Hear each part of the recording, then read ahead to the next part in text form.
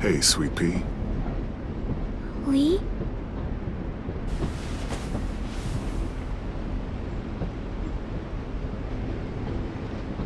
Why the train?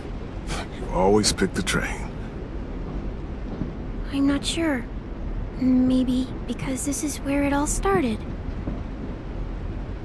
Where you taught me to shoot and to cut my hair. To be ready for what was coming. Uh, you were a quick study. So, what's on your mind this time? I'm worried, Lee. I've got a lot of people depending on me, and I don't know if what I'm doing is right.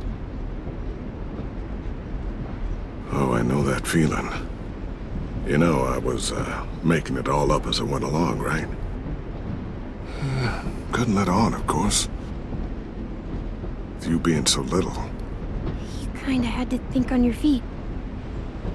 Monsters took over the world, and you got stuck taking care of an eight-year-old girl. You were a handful, but I didn't get stuck with anything. You kept me going. You want to tell me about what you're up against? I'm with a new group now, and I've been in so many, and they always fall apart. But I really like this one.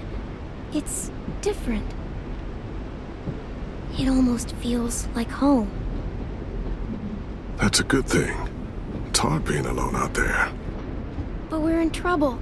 Some bad people captured my friends, and getting them back might get the rest of us killed.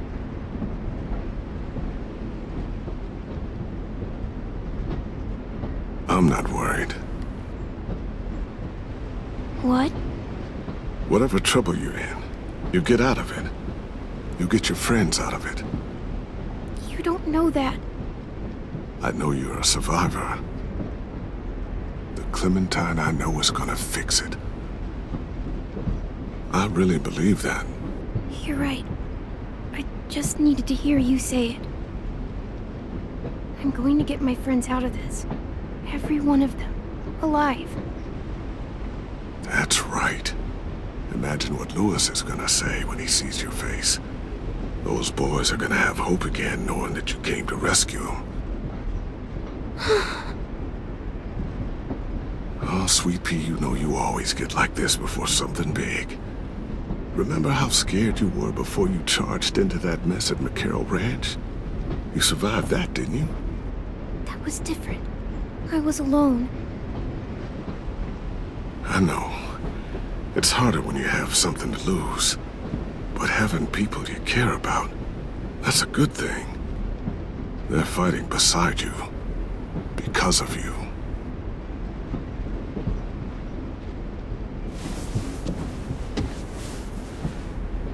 Come see me again when you've gotten them out, okay? Out and safe. Sound good? And hopefully we can talk about happier things. If you know of any.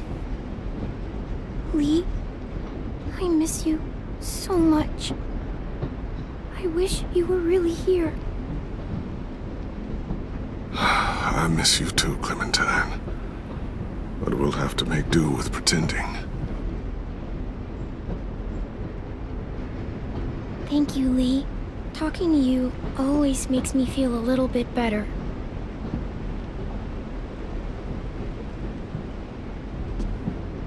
I meant to ask. How's the boy? He's good, Lee. You'd like him. I bet. You teach him to shoot yet? You have no idea. I guess the world got pretty hard since I left it. Kid growing up in it, he'd be hard too. You're in my shoes now, raising a kid. Think you got a handle on it? Uh, it can't be easy. Wanting to give him a childhood, but knowing what it takes to survive now. AJ's amazing, Lee. I've taught him to be strong and brave and capable. He'd be so proud. You mean more than I already am?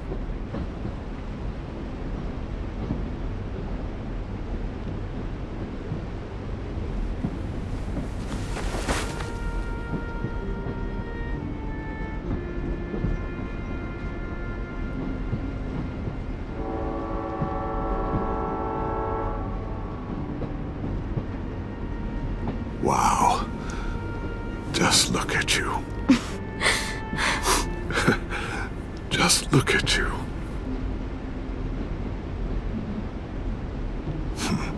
Thought I told you to keep this short.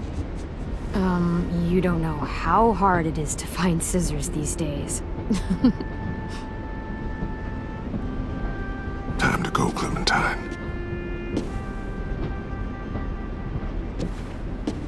You've got people that need you.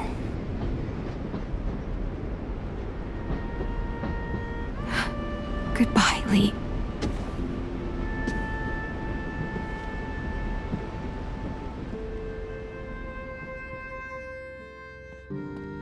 Clem, wake up. It's time to go.